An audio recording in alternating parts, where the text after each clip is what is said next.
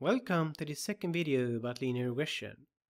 In this video we'll look at how the method of least squares is used to find the optimal values for the intercept and the slope of a regression line. From the basic lecture about regression, we saw how simple linear regression could be used to estimate the price of a car given a certain age. The regression line can be represented by the following general equation which shows where the line intercepts the y-axis as well as the slope of the line.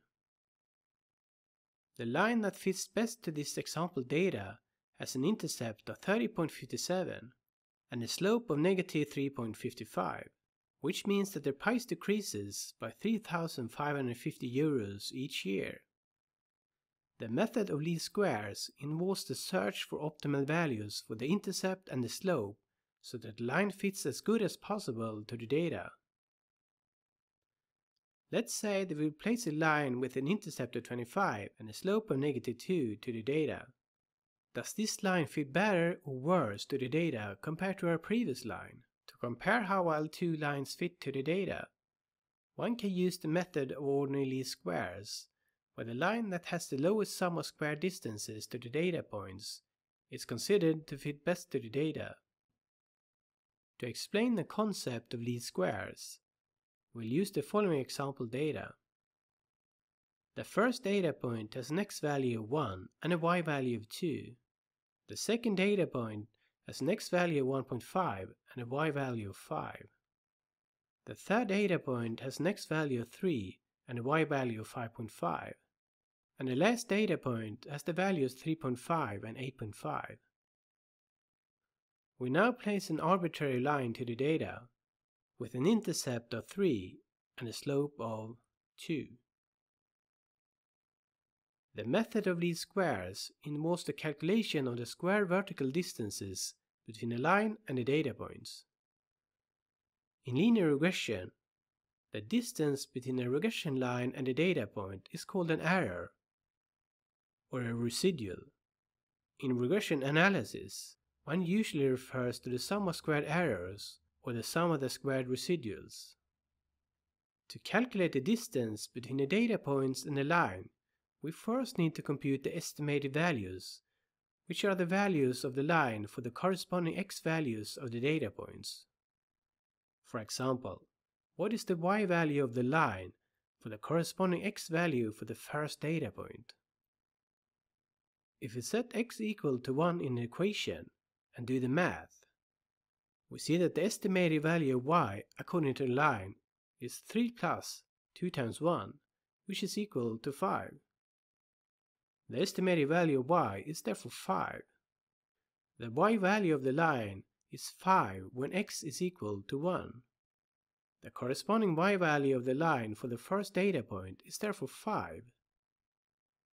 The second data point has an x value of 1.5, we therefore set x equal to 1.5 in the equation. We see that the estimated value of y for the second data point is 6. Next, we set x equal to 3 and calculate the estimated value to 9. The corresponding estimated value for the last data point, which is an x value of 3.5, is 10. We have now calculated all the estimated values according to our regression line. Once we have estimated the values according to the line, it is easy to calculate the vertical distance between the data point and the line. We simply subtract the estimated y value according to the regression line from the y value of the data point, which is equal to negative 3. The distance between the first data point and the line is therefore 3, Next, we calculate the distance between the second data point and the line, which is 5 minus 6. Note that we here change the index from 1 to 2, since this is the second data point. Also, note that we use the letter y for the y value of the observed data, and y hat for the estimated y value according to the line. The difference between the observed and estimated y value for the third data point is negative 3.5 and the difference between observed and estimated value for the last data point is negative 1.5. Next, we square these differences, which makes sure that all the values become positive. These are the square differences. For example, the square of negative 3 is 9, and the square of negative 1 is 1. Next, we sum these square differences, which is called the sum of squared residuals or the sum of squared errors, SSE. The sum of the squared errors is equal to 24.5. The equation for the sum of squared errors looks like this, where we sum the squared differences between observed values and the estimated values according to the line. Let's create a plot where we put the sum of the squared errors on the y-axis and the value of the intercept for the line on the x-axis. According to our calculations for a line with an intercept of 3 and a slope of 2, the sum of the squared errors is 24.5. The intercept of our current line is 3, which results in a sum of squared error of 24.5. Now, let's reduce the intercept of the line from 3 to 2 in order to see if we get a better fit. We calculate the estimated values according to the line.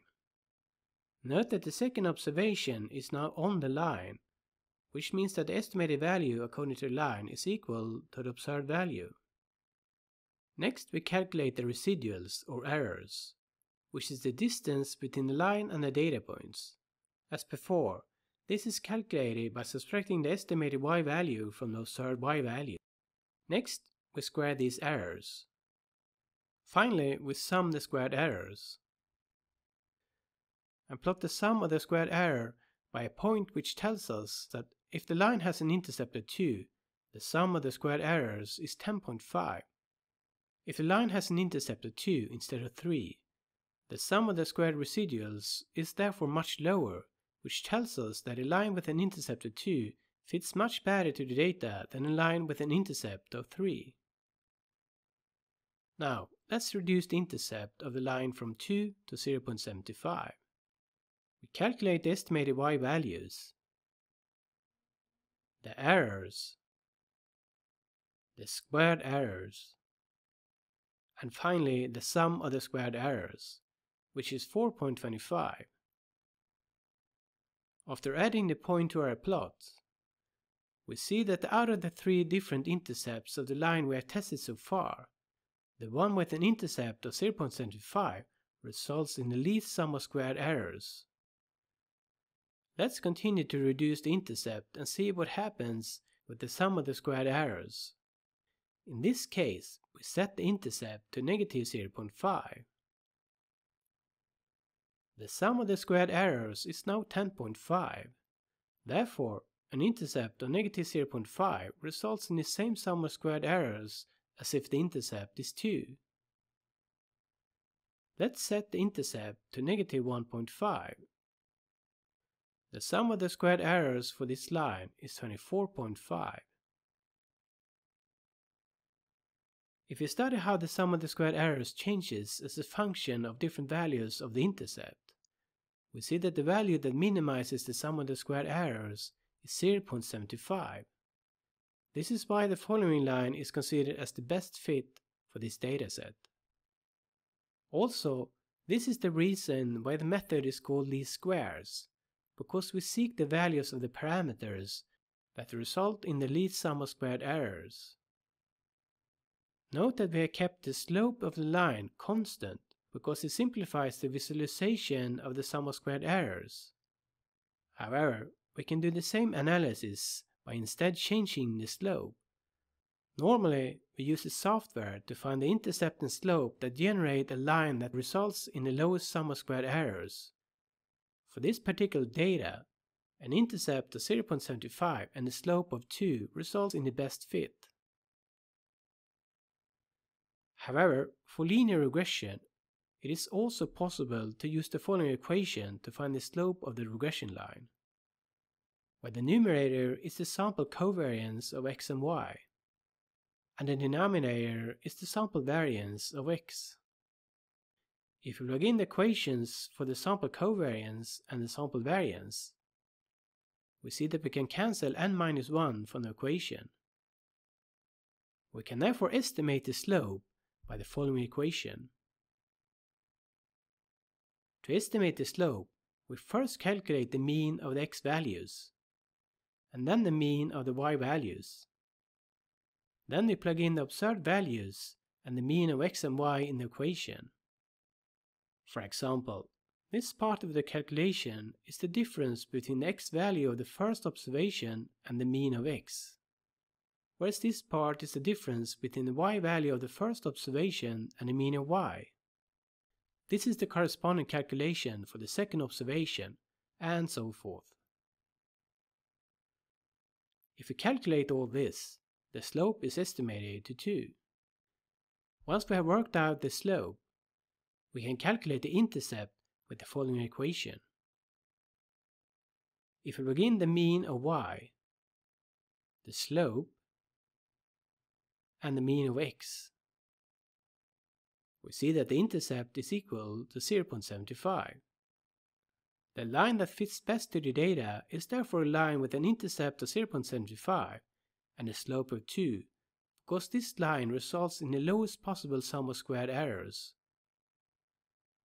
This was the end of this lecture about the method of least squares. Thanks for watching.